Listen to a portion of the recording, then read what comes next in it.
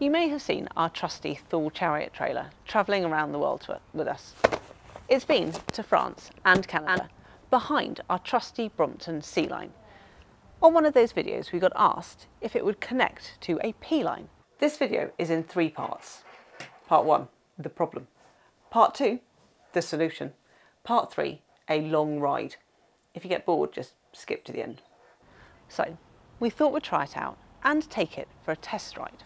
It is a small lake near Troyes in the centre of France. We are going to start and finish here. And the cycle lane goes all the way around the outside.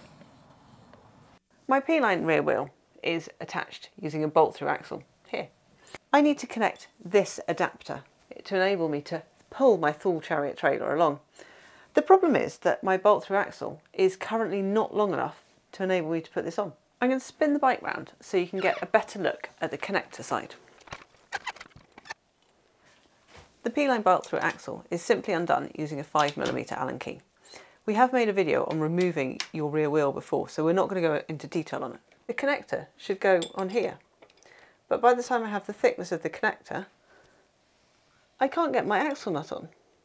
It's just no thread left. Thule do a through axle mount kit. This one However, the problem is that the axle is actually too long. So by the time you put the axle through and the adapter in place, you actually don't have any thread to thread the end on. You can see we've been playing with too many different axle connections because I need some touch-up paint.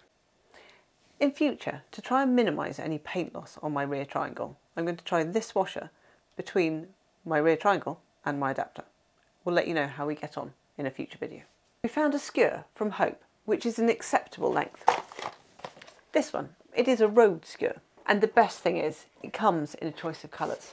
So I have gone for a nice shiny orange one to match my favourite orange bicycle. It is simply a case of putting the skewer through, putting the adapter in place, attaching the nut, as you can see, the thread is still too long, but it is acceptable. The other great thing is I've now got a quick release skewer, so it's even quicker to change my puncture when I have one. And now I'm going to get out and ride. We're going to start here.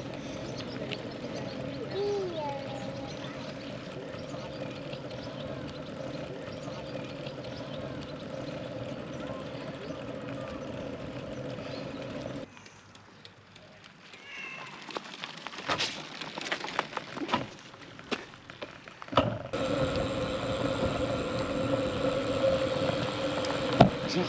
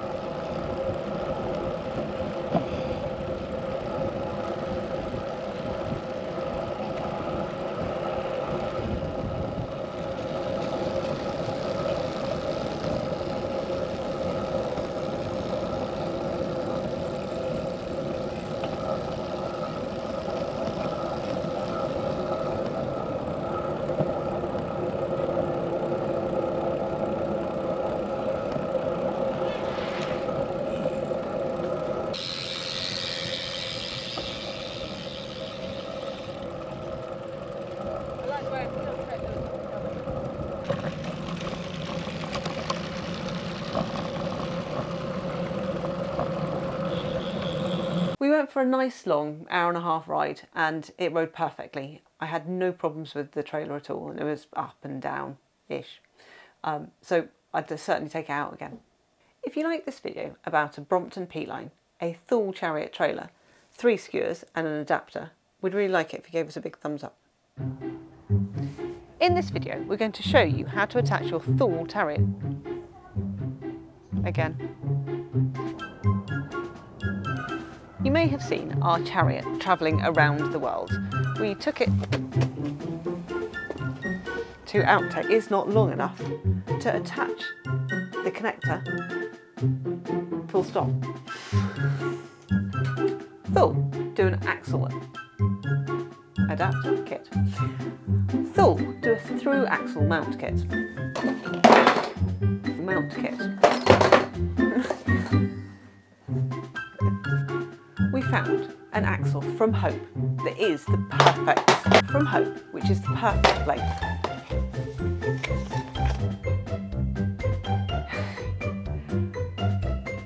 We found an axle from Hope. This one it is simply a case of pushing the skewer through, putting the adapter in place,